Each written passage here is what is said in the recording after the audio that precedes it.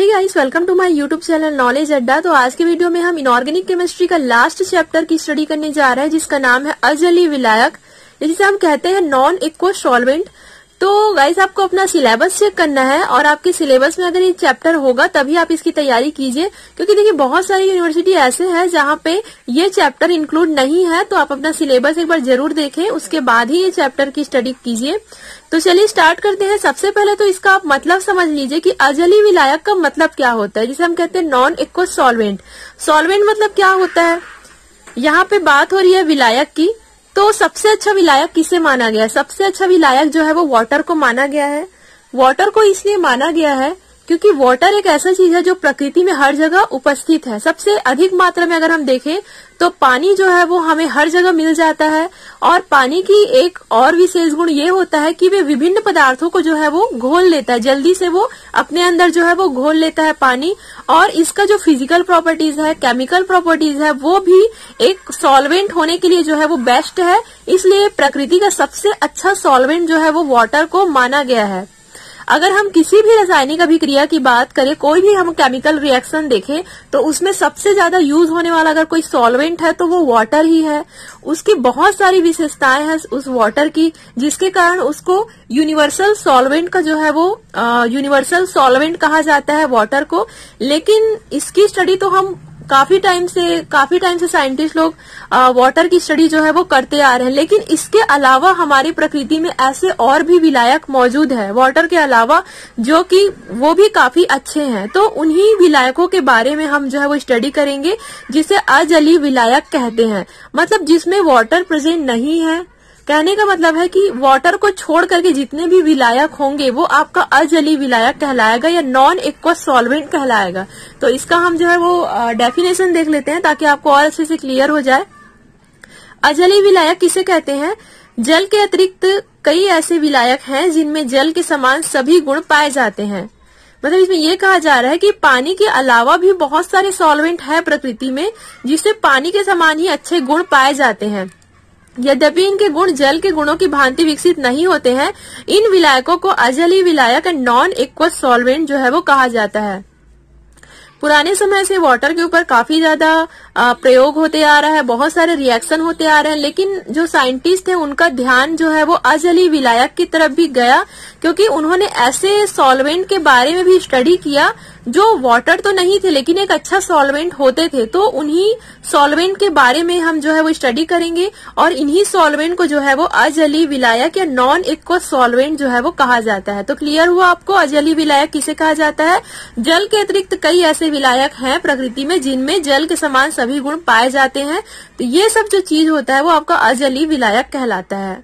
तो एग्ज़ाम्पल देख लीजिए, द्रव अमोनिया एनएस थ्री द्रव सल्फ़र डाइऑक्साइड SO2 वैसे तो बहुत सारे एग्ज़ाम्पल है बट मैं यहाँ पे आपको दो ही बताई हूँ। आगे जब आप जब आप इस चैप्टर में पढ़ते जाओगे तो आपको बहुत सारे नॉन इक्व सॉल्वेंट जो है, वो पढ़ने को मिलेंगे।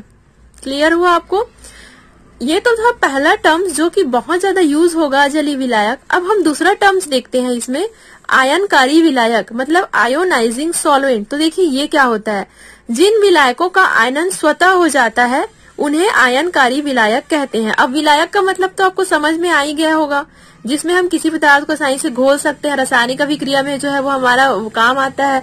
तो ऐसा विलायक या ऐसा सॉल्वेंट जो ऑटोमेटिक उसका जो है वो आयनन हो जाता है। मतलब अपने आयनों में भी विभक्त हो जाता है। वो ऑटोमेटिकली हो जाता है। तो इस टाइप का जो आ, विलायक होता है उसे हम जो है वो आयनकारी विलायक कहते हैं। इसे ऑटो आयोनाइजेशन की प्रक्रिया भी कहते हैं। देखिए अगर हम एनएस थ्री को यहाँ पे रिएक्शन करा रहे हैं तो ये स्वतः ही अपने आयनों में विभक्त हो रहे हैं। मतलब यहाँ पे अगर हम द्रव अमोनिया की बात करें तो ये है जो एक आयनकारी विलायक जो है वो कहलाता है। अगर हम वाटर को भी देखें तो वाटर भी एक प्रकार का आयनकारी विलायक होता है। H two O H two को यहाँ पे रिएक्ट करा रहे हैं। एस थ्री ओ प्लस करके बन रहा है एस थ्री ओ आयन बन रहा है ओ एच माइनस आयन बन रहा है। तो ये ऑटोमेटिक जो है वो ये इनका स्वतः आयनन हो जा रहा है। तो इस प्रकार का जो भी आपका सॉल्वेंट होगा, उसे हम जो है वो आयोनाइजिंग सॉल्वेंट कहेंगे। ये विलायक शुद्ध अवस्था में कुछ सीमा तक धनायनों एवं ऋणायनों में वियोजित होते हैं। देखिए, अगर इसमें अशुद्धि मौजूद होगा तो ये अपने आयनों में ठीक से विभक्त नहीं होंगे। मतलब इन्हें शुद्ध होना ज़रूरी है। तभी ये जो है वो धन आयन ऋण आयन मतलब पॉजिटिव चार्ज निगेटिव चार्ज आयनों में जो है वो ये विभक्त होंगे। तो दो टर्म्स आपको क्लियर हुआ। सबसे ज़्यादा यूज़ होने वाला टर्म्स अजली विलायक क्या है? पानी के अलावा और भी जितने भी विलायक हैं प्रकृति में, वो अजली विलायक कहलाता है। और यहाँ पे हम लोगों ने आयनकारी विलायक पढ़ा, जिसे हम आयोनाइजिंग सॉल्वेंट कहते हैं, जो स्वतः ही अपने आयनों में विभक्त हो जाते हैं। वो आपका आयनकारी विलायक कहलाता है। तो चलिए अब हम क्या करेंगे? ये जो विलायक है सॉल्वेंट है, उसका जो है वो हम फ़िज़िकल प्रॉपर्टीज़ देखेंगे। मतलब भौतिक गुण क्या क्या होते हैं क्या क्या इनमें विशेषता होती है, वो सारी चीज़ों को हम देखते हैं। फ़िज़िकल प्रॉपर्टीज़ ऑफ़ सॉल्वेंट मतलब जो भी विलायक है, इसमें हम वाटर को भी इंक्लूड करेंगे। जो भी विलायक है, उसके हम जो है वो भौतिक गुणों का अध्ययन करेंगे। सबसे पहला है आपका गलनांक एवं क्वथनांक मतलब melting point and boiling point जो विलायक सामान्य ताप एवं दाप पर द्रव अवस्था में होते हैं, उनकी उपयोगिता अधिक होती है। देखिए इसमें यह कहा जा रहा है कि हम उस सॉल्वेंट को एक अच्छा सॉल्वेंट मानते हैं जो एक नॉर्मल टेम्परेचर पर, एक नॉर्मल प्रेशर पर जो है वो आपको द्रव अवस्था में जो है वो होते हैं। तो अगर हम सबसे बेस्ट सॉल्वेंट इसी को मानते हैं तो इसमें आपका वाटर आता है, क्योंकि वाटर एक ऐसा सॉल्वेंट है जो सामान्य ताप पर द्रव है, जबकि अगर हम NH3 और SO2 विलायक को अगर हम देखें NH3 SO2 सॉल्वेंट को देखें तो ये केवल निम्न ताप पर ही द्रव अवस्था में होते हैं। मतलब अगर हम इसका टेम्परेचर एकदम ज़्यादा लो करते हैं, तभी ये हमें जो है वो द्रव अवस्था में प्राप्त होते हैं। तो देखा जाए तो वो सॉल्वेंट जो है वो अच्छा सॉल्वेंट होता है, जो नॉर्मल टेम्परेचर पे हमें द्रव अवस्था में लिक्विड रूप में प्राप्त हो जाए, लेकिन हम उस सॉल्वेंट को जो निम्न ताप होने पर मतलब टेम्परेचर को जब हम उसको लो करेंगे, तब अगर वो द्रव अवस्था में होते हैं, जैसे कि NH3SO2 तो ये हुआ इसका गलनांक और कथनांक मतलब मेल्टिंग पॉइंट और एंड बॉइलिंग पॉइंट पहला प्रॉपर्टीज़ यही है देन सेकंड हम देखते हैं गलन तथा वाष्पन की गुप्त उष्मा। अब पहले तो हम ये जान लेते हैं कि गलन उष्मा क्या होता है और वाष्पन उष्मा क्या होता है। देखिए, किसी पदार्थ के एक ग्राम अणु के ठोस से द्रव अवस्था में परिवर्तन के लिए अवशोषित उष्मा उसकी गलन उष्मा होती है। क्लियर हुआ? अगर हमारे पास कोई पदार्थ है, उसके अगर हम एक ग्राम अणु को लेते हैं, एक ग्राम अणु के ठोस से अगर वो लिक्विड अवस्था में चेंज हो रहा है मतलब बहुत ही सिंपल सी बात है, अगर कोई ठोस अवस्था से लिक्विड अवस्था में चेंज हो रहा है तो अवशोषित होने वाली जो भी उष्मा है मतलब ठोस अवस्था से द्रव अवस्था में परिवर्तन के लिए जो भी अवशोषित उष्मा है, वो आपका गलन उष्मा जो है वो कहलाएगा। अब हम देखते हैं गुप्त उष्मा सॉरी वाष्पन उष्मा क्या होता है? किसी पदार्थ के द्रव अवस्था में से वाष्प में परिवर्तित होने पर अवशोषित उष्मा को उसकी मोलर वाष्पन उष्मा कहते हैं। मतलब इसमें यह कहा जा रहा है कि कोई आपके पास पदार्थ है, अगर वो द्रव अवस्था से मतलब लिक्विड अवस्था से अगर वो वाष्प में परिवर्तन होता है, ठीक है?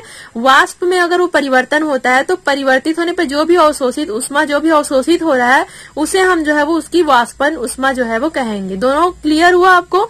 गलन उष्मा क्या है? ठोस से द्रव में परिवर्तन के लिए जो भी आवश्यक अवशोषित उष्मा है, और और वाष्पन उष्मा क्या है? द्रव अवस्था से, उसके वाष्प अवस्था में परिवर्तन के लिए जो भी आवश्यक उष्मा है और शोषित उष्मा है, उसे हम वाष्पन उष्मा कहेंगे। अब देखिए क्या है, जल एवं अमोनिया की गलन उष्मा लगभग समान है, अर्थात जल एवं अमोनिया के अणुओं के मध्य लगने वाला बल जो है वो समान है।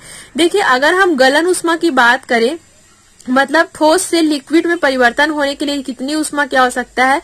अगर हम उसमें इसकी बात करें तो जो वाटर और अमोनिया है उसका जो वास्पन उष्मा होता है, गलन उष्मा होता है, वो समथिंग सेम होता है।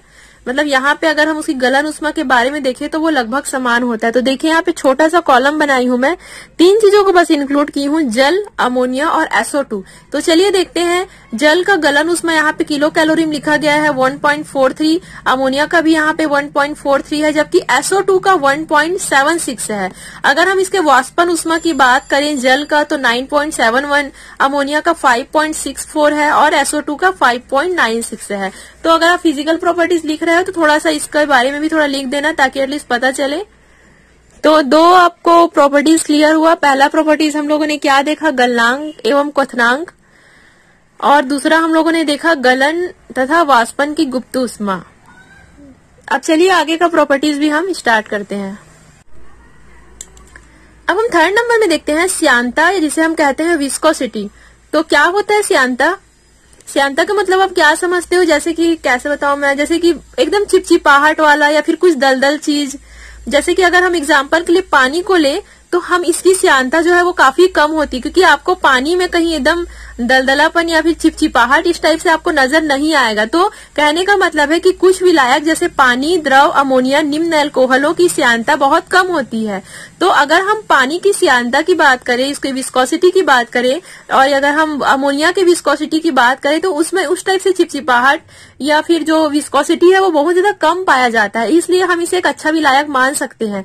क्योंकि देखिए, अगर हम कोई भी रिएक्शन करा रहे हैं, और अगर हम उस रिएक्शन में पानी को यूज़ कर रहे हैं, और अगर पानी की विस्कोसिटी बढ़ गया तो वो रिएक्शन आपका कंप्लीट नहीं हो पाएगा। मतलब अगर उसमें चिपचिपाहट या फिर दलदलाहट, दलदल टाइप से अगर कुछ, इस टाइप से कुछ रिएक्शन होने लगता है तो आपका रिएक्शन जो है वो इनकम्प्लीट हो जाएगा।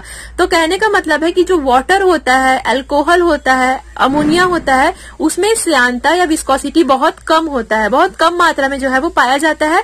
इसलिए हम इसे एक अच्छा सॉल्वेंट मान सकते हैं। जबकि उच्च हायर एल्कोहलों निर्जल एच टू की श्यांता अधिक होती है।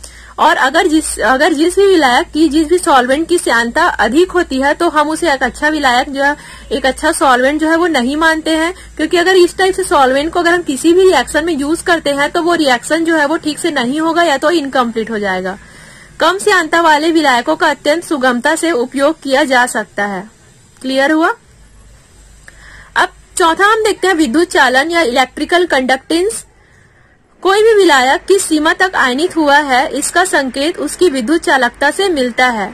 अब देखिए, हमारे पास यहाँ पे वाटर है, और जैसा कि मैं आप लोगों को बता चुकी हूँ कि ये वाटर जो होता है वो स्व स्व स्वतः आयनित हो जाता है। मतलब खुद ही अपने आयनों में जो है वो परिवर्तित हो जाते हैं।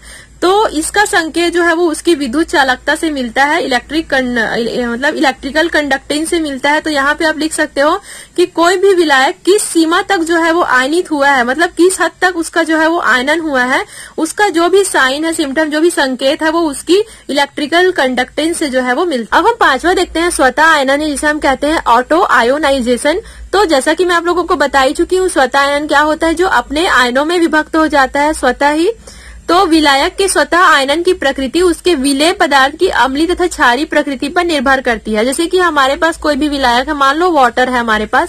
अब उसमें हम कौन सा पदार्थ घोले हैं? जैसे कि हम लोग उसमें, अगर हम उसमें एसिड घोले हैं कि हम उसमें बेस घोले हैं मतलब हम लोग उसमें अम्ल मिलाए हैं कि हम लोग उसमें क्षार मिलाए हैं, उस पे जो है वो ये डिपेंड करता है। मतलब अगर कोई भी विलायक है, उसमें क्या किस प्रकार का विलय पदार्थ मिला हुआ है, इस पे जो है वो डिपेंड करता है।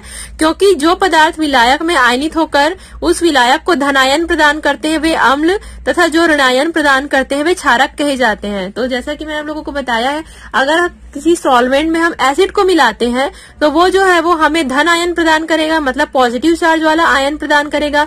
अगर हम उस सॉल्वेंट में क्षार को मिलाते हैं बेस को मिलाते हैं तो वो हमें जो है वो ऋण आयन प्रदान करेगा मतलब निगेटिव चार्ज वाला आयन जो है वो प्रोवाइड करेंगे। तो डिपेंड करता है कि हम उसमें क्या मिलाए हैं। तो ये होता है स्वतः आयनन जिसे हम कहते हैं ऑटो आयोनाइजेशन क्लियर हुआ आपको? तो पाँच प्रॉपर्टीज़ भी अगर आप लिखते हैं एग्ज़ाम में तो बहुत ही इतना काफ़ी है। इसके अलावा तो उतना आपको टाइम भी नहीं रहता है एग्ज़ाम में लिखने को। तो आई होप ये कहीं आज का टॉपिक आपको क्लियर हुआ होगा। इसके बाद इसी चैप्टर का मैं और भी नोट्स दूँगी। जो कि आप लोगों को BSc second year inorganic chemistry के प्लेलिस्ट में जो है वो सारे नोट्स मिल जाएँगे तो चेक ज़रूर करें। Thank you so much guys for watching this video